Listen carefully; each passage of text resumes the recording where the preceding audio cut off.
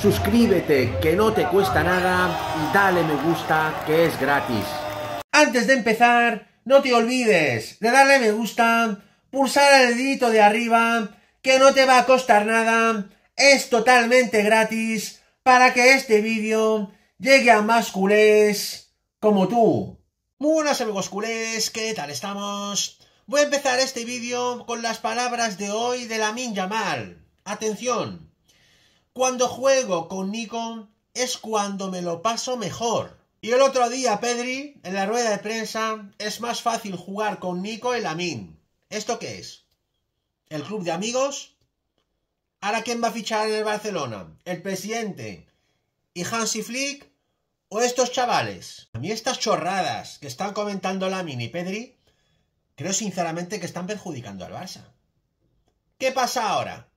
Si el Barcelona ficha a Luis Díaz, ¿tú no, ¿tú no vas a estar contento jugando con, él o qué? ¿Qué pasa aquí? ¿Esto qué es? ¿Presionar al club y chantajearlo para que fichen a tu amigo? Ya está bien. Ya está bien de tantas tonterías y chorradas. La porta. Tienes que poner orden.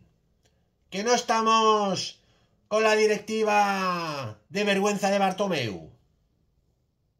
Ahí lo dejo. Mejor vamos con la actualidad de nuestro Barcelona. El Porto acaba de pedir la cesión de Vitor Roque.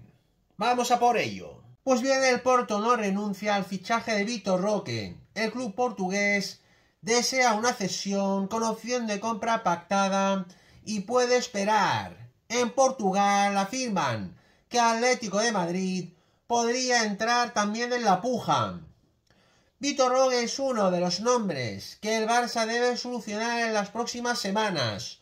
Con Xavi Hernández en el banquillo, el futuro del brasileño parecía ya sentenciado, pero ahora con el nuevo técnico Hansi Flick debe dar su opinión teniendo en cuenta que podría ser complicado escribirle.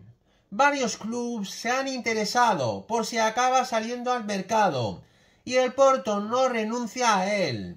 Un medio portugués muy importante explica que el club luso está dispuesto a esperar y que ya habría solicitado una cesión del jugador incluyendo una opción de compra obligatoria para finales de temporada. La Juventus también sería otro equipo que tendría de radar. Yo creo que este chaval merece una oportunidad. Antes de tomar una decisión referente al futuro de Vitor Roque, Creo que la mayoría de los culés al menos queremos verlo con el equipo en la gira de Estados Unidos, etc. Seguimos con la actualidad de nuestro Barça. Robert Lewandowski se lesionó ayer al amistoso que jugó Polonia contra Turquía y se pierde el primer partido con Polonia de la Eurocopa el próximo viernes contra Holanda. Vamos a por ello. Pues bien, Robert Lewandowski se pierde el estreno de Polonia en la Eurocopa el delantero polaco tiene molestias en el bíceps femoral. Robert Lewandowski será baja en el primer partido de Polonia en la Eurocopa de, Alemania que empieza el próximo viernes. El delantero del Barça solicitó el cambio pasada la media hora por unas molestias musculares en el amistoso que el lunes jugó su selección ante Turquía y las pruebas que ha sido sometido indican que la lesión no es grave, pero que no podrá estar disponible para el seleccionador polaco Michal Probies para el estreno ante el combinado de los Países Bajos el domingo día 16. Tampoco podrá jugar ese partido Frinky de Jong, que este lunes fue descartado por Ronald Koeman para el torneo por no estar recuperado de la tercera lesión en el tobillo derecho que se ha hecho con el Barça esta temporada. Por cierto, el próximo partido de Polonia contra Holanda se juega el próximo domingo y no el viernes como dije. Y Robert Lewandowski afortunadamente va a estar en el segundo partido que juega Polonia, en este caso contra Austria, el viernes 21. Y ahora sigamos con el temazo principal, bombazo de última hora, las ocho decisiones que tomará Hansi Flick para cambiar la historia del Barça.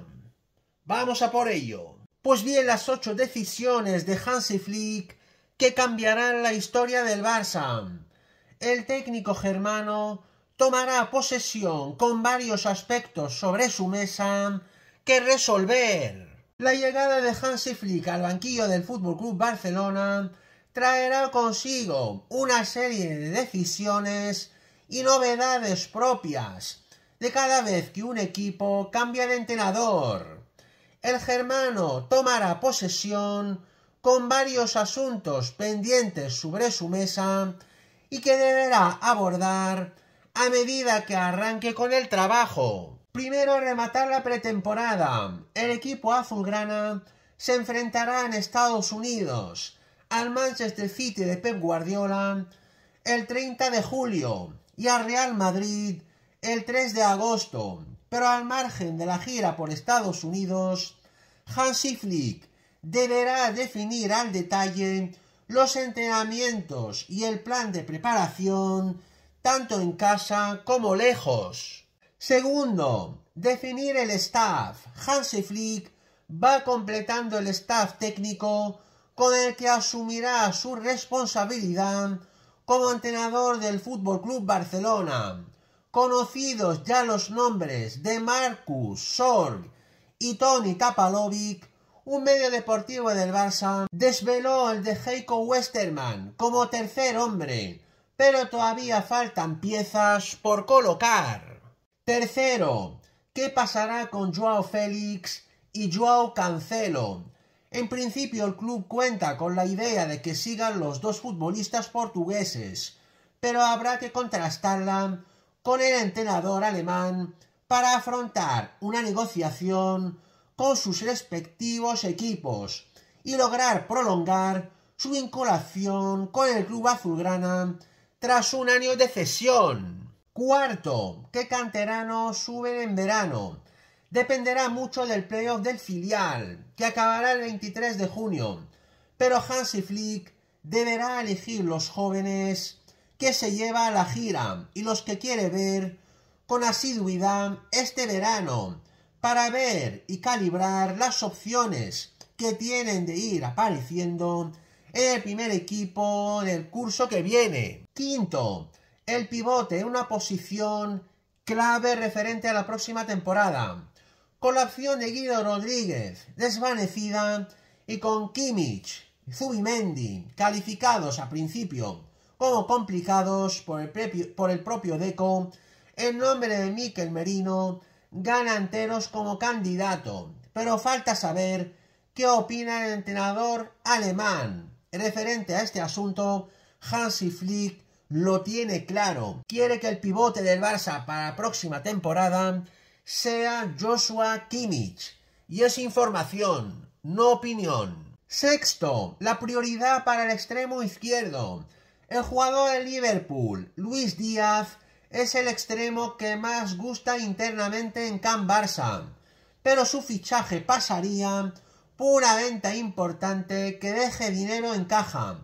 Y el delantero Rafinha sería uno de los perfiles, por lo que se puede ingresar un buen montante para fichar al crack colombiano. Séptimo, el futuro de Vitor Roque. Hansi Flick tendrá que decidir, en primer lugar, qué ocurre con el delantero brasileño y en caso de que la decisión sea de una salida, habrá que ver si se ficha para suplir su posición o se apuesta por un jugador de la cantera como Mark Yu en este caso. Octavo y último, la continuidad de Ansu Fati.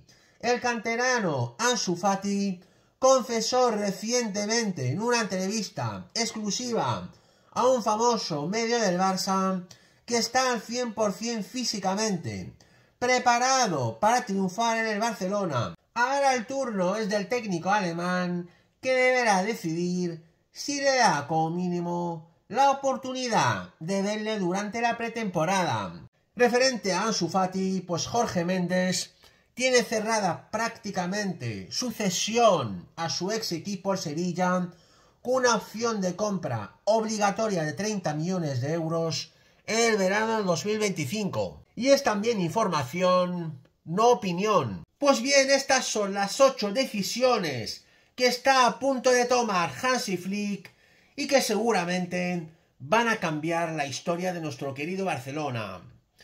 Esta ha sido mi grandísima noticia de hoy, amigos culés. No os olvidéis suscribirse a mi canal, que no os cuesta nada. Pulsar un like como siempre y dejarme comentarios para cambiar opiniones. Muchas gracias. Forza Barça por siempre. Vamos a por todas. Y nos vemos muy pronto en mi próximo vídeo. ¡Vamos!